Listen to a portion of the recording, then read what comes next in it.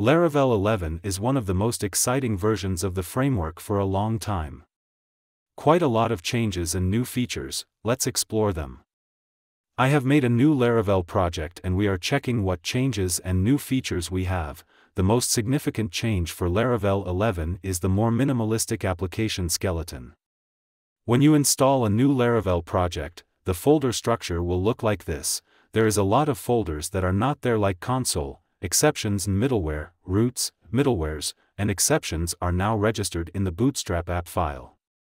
And also some config files, they also removed some config files, this change has a backstory.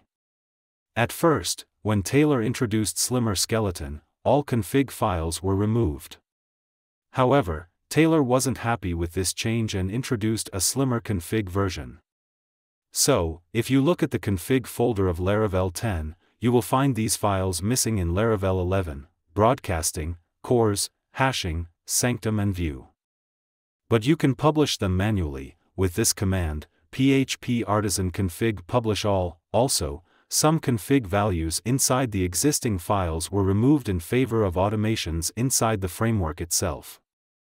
Now, speaking about sanctum and broadcasting configuration, Laravel 11 has no routes/api.php file, and Sanctum isn't installed by default.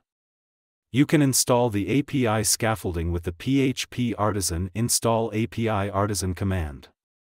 When you run this Artisan command, the Routes API file will be created and registered in the Bootstrap app, and Laravel Sanctum will be installed.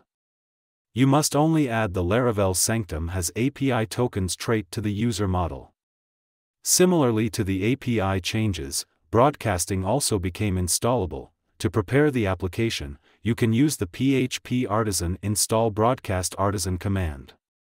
Now with Laravel 11, there are a few new default settings, the default database for Laravel was changed to SQLite. Laravel 11 comes with new make artisan commands. Now, you can create enums, interfaces, and classes. To make a new enum we will use the PHP artisan make enum command, and for the class we will use the php artisan make class command.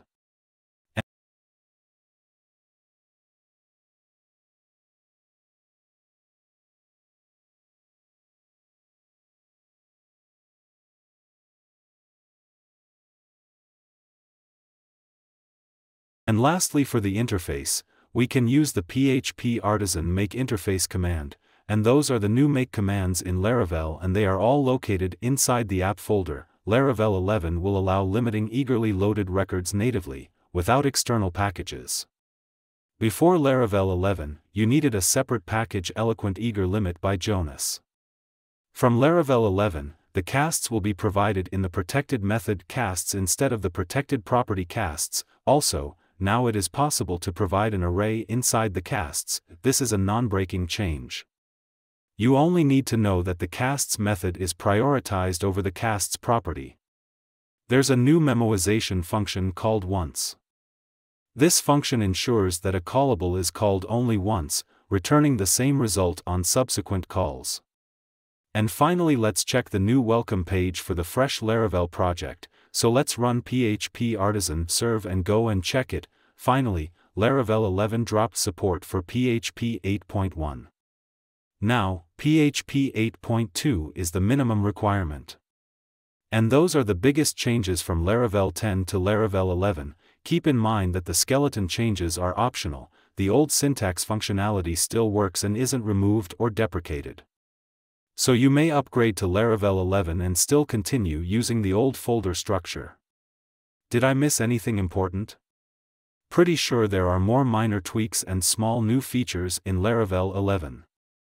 If you want to upgrade your applications to Laravel 11 and use the new features, read the official documentation upgrade guide. Or, if you want to automate the upgrade process.